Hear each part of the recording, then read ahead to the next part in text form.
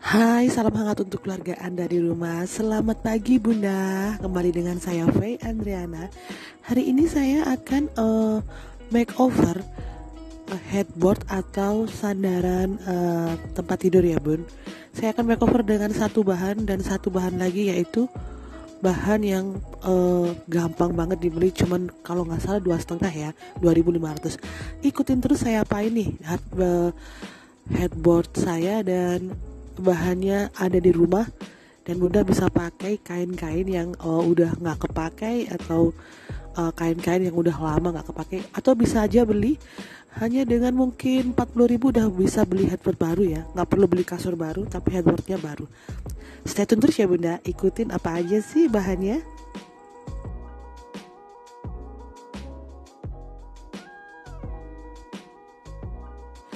dan ini dia bahan utamanya uh, bahan yang merekatkan cinta dan kasih headboard dengan kainnya. Ini saya punya kain yang udah bekas. Ini kain saya dari Bali yang udah kepake kayak gini. Saya cuma menggunakan pines aja ya bun. Jadi ikutin uh, prosesnya kayak gini gampang banget bisa diganti setiap saat. Kalau bosen pengen ganti pakai kain A besok kain B. Bisa langsung aja diaplikasikan ke tempat head, headboard uh, bunda ya jadi pengen besok suasana hati pengen pink. Bunda bisa ganti warna pink. Suasana hati pengen orange. Hijau ungu sesuai dengan minat bunda dan warna idolanya bunda apa gitu ya. Ini saya punya kain yang udah lama banget nggak kepake ya. Kain-kain common atau kain uh, kalau di Jawa apa namanya ya? Kain-kain untuk uh, kayak kebaya gitu ya udah nggak kepake. Dari Bali di acara nikahan saya ya udah lama banget tahun berapa itu? Hampir 10 tahun jadi udah nggak kepake dan kelipat udah saya setrika ya agak lecek sih emang kain kayak gini nggak bisa lecek karena ada print-printannya gitu kan. Itu langsung saya uh, selimutin gitu aja. Terus kelihatan dari belakang itu langsung dipines-pines gitu aja bun. Jadi dilipet seperti ini langsung dipines saja cari tempat yang ada agak keras gitu ya. Kalau masih ditekannya empuk jangan dimasukin. Tuh kalau udah kayak gini udah langsung ditekan-tekan aja langsung pas pastiin masuk ke dalam kayu ya bun. Tuh kayak gini. Jadi bunda bisa menggunakannya ya nih ya. Umpama besok suasana hati pengen warna hijau. Oke okay, bunda boleh tuh kalau ada di rumah warna hijau uh, kain monggo silahkan dipakai. Kalau nggak ada langsung beli ke toko kain bisa mengganti dengan warna yang sesuai keinginan bunda. Kalau saya sih ya daripada saya beli saya menggunakan kain yang udah ada di rumah.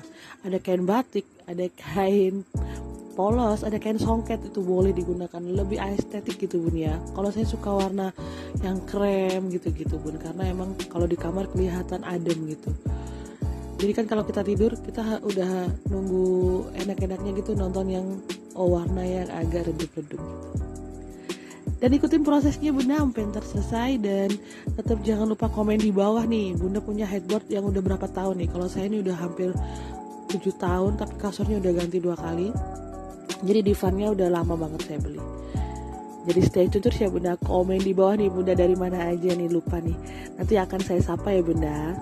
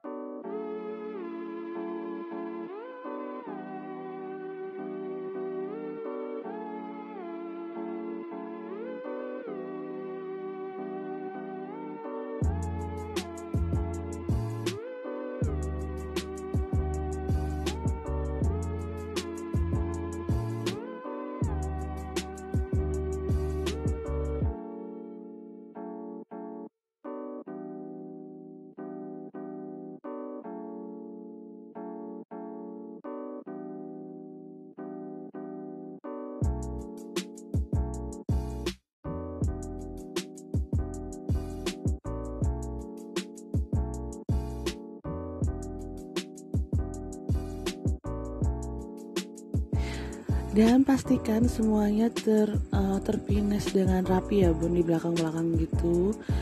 Jadi langsung kita masukkan ke dalam uh, lipatan lipatannya jadi kalau ada lipatan di headboardnya bisa dilakukan seperti saya ini. Tapi jika tidak ada seperti tadi sudah bagus ya bun. Jadi pastikan ketat gitu bun ya. Nggak longgar longgar gitu. Jadi nggak ada space untuk dia ketarik ke bawah gitu. Jadi kayak gini di dalam headboardnya tuh ada kayak tekukan spons gitu langsung kita tekan aja ke masukin aja uh, pinesnya gitu biar dia ketahan ya bun. Jadi harus benar-benar kuat gitu. Jadi pastikan dia masuk ke dalam tripleknya gitu kayak ke kayunya gitu. Jangan asal nempel takutnya ntar kelepas lagi. Kayak gini saya pastikan masuk semua. Jadi uh, pines ini uh, berguna banget gitu ya untuk uh, merapikan sesuatu yang nggak yang kayak gini-gini ya bun jadi buat bunda sekalian uh, kalau ingin menata seperti ini emang perlu pinset yang banyak pines yang banyak ya. Jadi biar nggak kurang gitu karena kita semua menggunakan pines. Jadi kalau pines yang ada yang murah itu mungkin digunakan lagi nggak bisa peok ya peok peok gitu. Tapi saya beli ini pines yang agak mahalan gitu yang ujungnya tebel banget gitu. Jadi tanya aja yang ujungnya tebel ada kok di toko-toko plastik sama toko buku kalau nggak salah langsung kita masukin kayak gini aja. Dan kita lihat hasilnya seperti apa. Stay tune terus ya bunda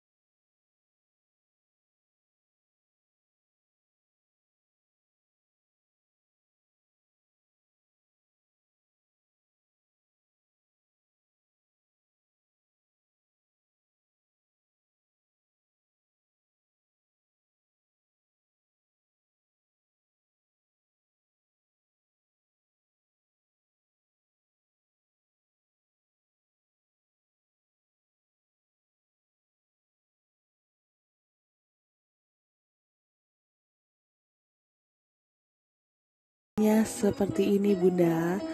Kelihatan estetik banget dan uh, Bali banget gitu ya. Jadi kayak kultur Bali banget gitu ya karena saya memang orang Bali suami saya. Jadi uh, sesuatu yang uh, baru di rumah itu nggak perlu dengan kita beli bahan baru gitu bun.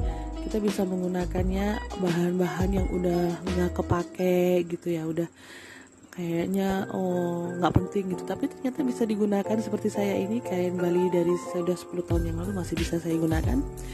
Dan hasilnya wow keren banget. Saya pun yang punya pun wow keren banget. Dan Bunda bisa mencobanya dengan suasana baru. Besok saya juga pengen banget uh, yang kayak bunga-bunga gitu ya. Berhubung saya pengen banget pakai yang ini saya gunakan yang ada dulu. Jadi terima kasih buat Bunda sekalian yang udah uh, mengikuti gitu ya step-stepnya. Gampang banget kan modal saya ini hari ini hanya 2.500 rupiah jadi happinessnya harganya 2.500 rupiah itu modal saya. Jadi seperti ini hasilnya. Dan jangan lupa subscribe like dan share. Jangan lupa komen di bawah. Bunda punya headboard yang udah berapa tahun sih nggak diganti gitu. Jadi tunggu uh, home decor saya dan ide usaha. Terus cleaning motivation yang lain dan terima kasih dan sampai jumpa bunda. Assalamualaikum